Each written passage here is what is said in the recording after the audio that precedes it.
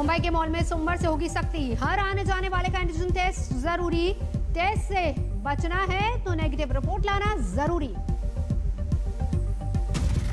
देश में फिर बेकाबू कोरोना। एक दिन में उनतालीस हज़ार सात सौ चौबीस मामले। एक दिन में एक सौ चौवन मौतें एक्टिव केस की तादाद एक लाख पंद्रह हज़ार से ज़्यादा। महाराष्ट्र में एक दिन में केस का नया रिकॉर्ड। इससे पहले 11 सितंबर को आए थे चौबीस हज़ार आठ सौ छियानवे नए मामले। मुंबई में 2800 से ज़्यादा केस।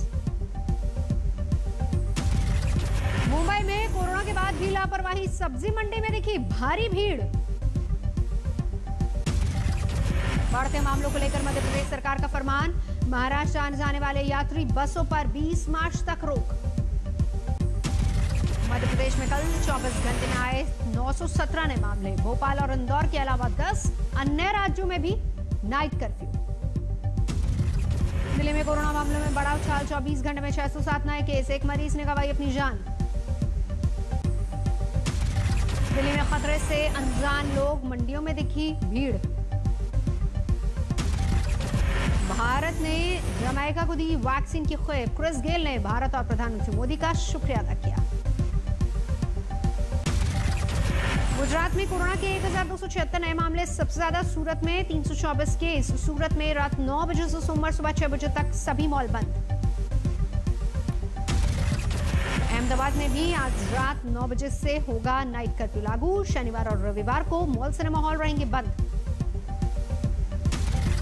सामने आई गुजरात सरकार की दोहरी नीति। मास्क नहीं पहनने वाले आम लोगों पर हज़ार का जुर्माना लगाने का फैसला। नेताओं, मंत्रियों और अफसरों के लिए सिर्फ़ पाँच सौ रुपए। पंजाब के नौ शहरों में सख्ती, अब रात नौ बजे से सुबह पाँच बजे तक रहेगा नाइट कर्फ्यू। बिहार में कोरोना संक्रमण को लेकर सतर्कता, सभी सरकारी डॉक्टरों और मेडिकल स्टाफ की छुट्टियाँ पाँच अप्रैल तक रद्द।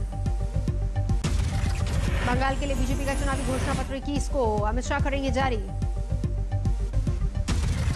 बंगाल चुनाव में टीएमसी को एक और बड़ा झटका, अब शुभेंदु अधिकारी के पिता और सांसद शिशिर अधिकारी बीजेपी में होंगे शामिल। पार्टी में टूट के बीच ममता ने संभाला मोर्चा। आज पूर्वी मिदनापुर में तीन चुनावी सभाओं को करेंगी संबोधित। चुनाव आयोग से मिला टीएमसी का प्रतिनिधि मंडल शुभेंदु अधिकारी पर नंदीग्राम में पार्टी कार्यकर्ताओं पर हमले कराने का लगाया आरोप। बंगाल के पुरुलिया में प्रधानमंत्री मोदी की रैली। ममता के चुनावी नारे खेला होबे पर जमकर बोला हमला।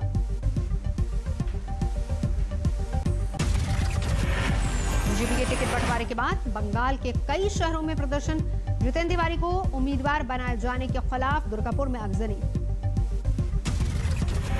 मालदा गाजीपुर सीट पर चिन्मय देव को टिकट देने का विरोध, पार्टी के दफ्तर पर जमकर तोड़फोड़। राजनहाट बुलेपुर और दमदम सीटों पर भी विरोध, कार्यकर्ताओं की नाराज़गी सामने आई, टार फूके। जलपाईगुड़ी में पार्टी के समर्थकों में आपसी भिड़ंत, दफ्तर में जमकर तोड़फोड़। आसनसोल के रानीगंज में भी बीजेपी उम्मीदवार विजन को लेकर बगावत, विरोध में पार्टी दफ्तर में गेट बंद। योगी सरकार के चार साल पूरे, प्रेस कॉन्फ्रेंस करके सीएम योगी आदित्यनाथ ने गिनाए अपने काम, कहा, बीमारू राज्य की छवि से निकाला। योगी ने कहा ईज ऑफ़ डूइंग बिज़नेस में अब दूसरे नंबर पर यूपी। प्रति व्यक्ति आय भी दोगुनी हुई। योगी दावा देश, विदेश के निवेशकों की पहली पसंद बना यूपी। केंद्र के साथ मिलकर हासिल की उपलब्धियाँ। चार साल पूरे होने पर योगी सरकार मनाएगी जश्न, लोक भवन में तैयारी। बिहार में तेज प्रताप यादव के बिगड़े बोल, मंत्री रामसूरत राय को बताया गुंडा। मंत्री ने तेजस्वी से कहा था, गांधी मैदान में निपट लेंगे। वाजी और एंटीरिया मामले को लेकर महाराष्ट्र के होम मिनिस्टर अनिल देशमुख की एनसीपी चीफ शरद पवार से मुलाकात। एंटीरिया केस के नए जाँच पर शिवसेना ने फिर किया ऐतराज। सामना में लिखा, आतंकवाद से तार नहीं जुड़े, पर एनआईए को दी जाँच। परमवीर सिंह का भी किया बचाव, लिखा उन पर दिल्ली की एक विशिष्ट लॉबी का गुस्सा था। अंजिला मामले में सचिन वाजी की गिरफ्तारी के बाद जाँच का दरवाज़ा, जाँच का दायरा बढ़ा। वाजे से जुड़ी एक और लग्जरी कार बरामद हुई। आज तक को मिली जानकारी के मुताबिक वाजे तीन कंपनियों में डायरेक्टर लेन देन पर जाँच एजेंसियों की नज़र। महिलाओं के लिबास बयान पर विवाद बढ़ा। तीरथ सिंह ने मांगी माफ़ी। आज तक से खास बातचीत में तीरथ सिंह रावत बोले, मुझे जीन से नहीं, फटी जीन से एतराज़। रावत के बयान पर दिल्ली कांग्रेस की महिला विंग का आज विरोध प्रदर्शन। फटी जीन्स पहनकर शामिल होंगी महिलाएँ। किसानों ने किया बीजेपी के पूर्व एमपी का विरोध। तेजवीर सिंह को गाँव में घुसने नहीं दिया। मथुरा में हाट में आज किसानों की महापंचायत अखिलेश यादव और जयंत चौधरी करेंगे शिरकत। लखनऊ में एलपीजी सिलेंडर ले जा रहा ट्रक, पलटा, गैस रिसाव से मचा हड़कंप। वडोदरा की केमिकल फैक्ट्री में लगी आग, छह लोग गंभीर रूप से घायल। इंदौर में केबल कंपनी के गोदाम में आग, करोड़ों का नुकसान। मैसूर में फर्नीचर गोदाम में लगी आग, भारी नुकसान की खबर, कोई हताहत नहीं। देश के 10 राज्यों में सीबीआई मार रही है छापे, करप्शन के मामले में एक्शन। कुरान की कुछ आयतों को हटाने की याचिका का विरोध। धर्मगुरु शुक्रवार को जामा मस्जिद से करेंगे मार्च। विदिशा में सरपंच का ट्रैक्टर से कुचलकर कत्ल, वन माफिया का शिकायत करने पर हमले का आदेश।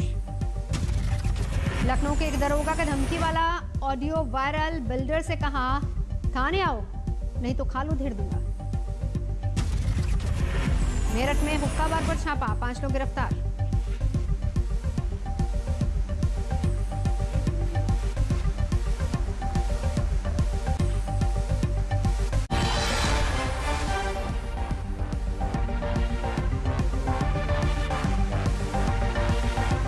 नमस्कार, मैं हूँ अंजना ओम कश्यप हमें उम्मीद है ये वीडियो आपको पसंद आया होगा। लेटेस्ट खबरों के लिए यूँ ही देखते रहिए आज तक और इस वीडियो के पसंद आने पर लाइक शेयर एंड सब्सक्राइब करना ना भूलें।